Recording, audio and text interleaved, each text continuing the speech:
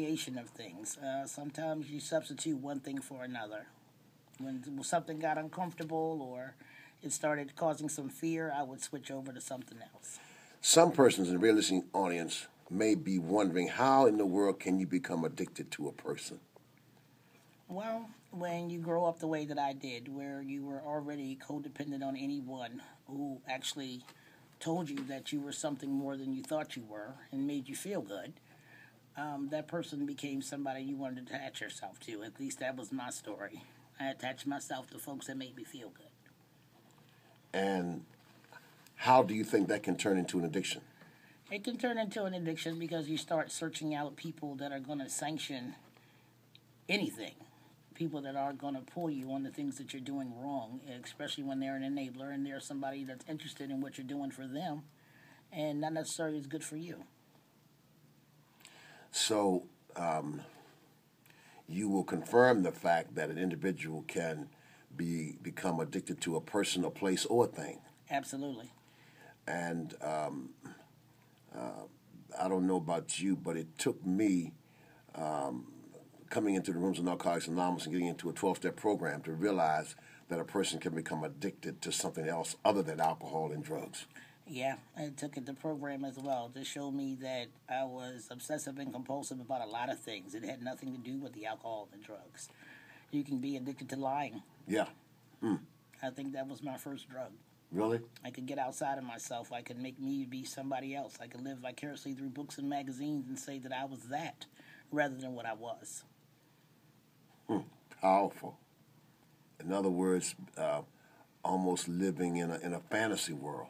Absolutely. Anything that felt better than my reality was something that I attached myself to, and I used that to cope. That was my coping mechanism to read a book, uh, see something on TV, and try to, in fact, live that persona until reality shows up for real. And the God of my understanding at that time showed me evidence that this didn't work. Erica, how long how long did you did you use a drink or drug, and what was the what was the drug that brought you to your knees? I used uh, for the amount of time that I'm clean, 13 years, and the crack cocaine brought me to my knees. It controlled me in a way that I never want to be controlled by anything else in life. And what was it that caused you to stop using a drink or drug? Did you run into a brick wall? I mean, uh, what what help somebody out there? What happened?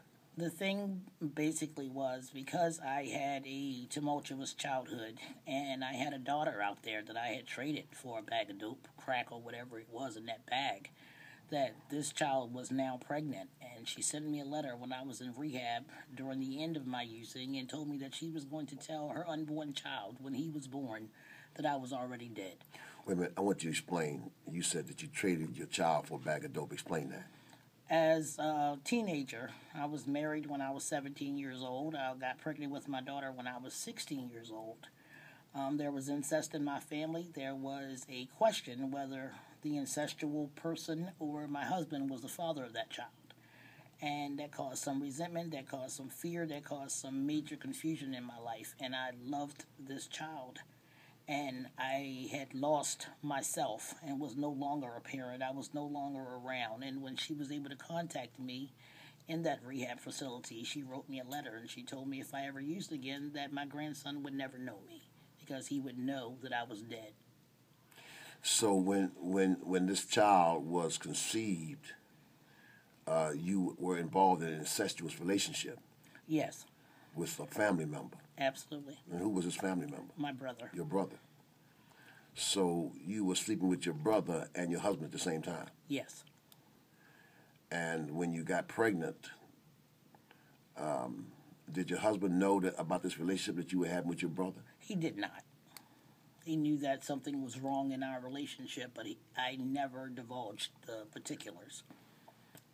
I think a lot of times that God allows us to go through certain valleys in the shadows of our death and we not know why we are going through this until we come out of the valley. I believe that. As a child, I was molested at nine years old, and that continued until I was 13 years old. And because the family member was aware of all that, um, I was taken advantage of.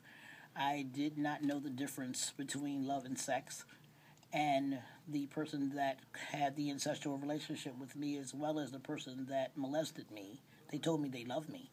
And that's not something I heard on a regular. And I thought at that time, being a child, that love was connected to sex. Was that your brother or, your, or, or another another member of your family? It was my it was my brother.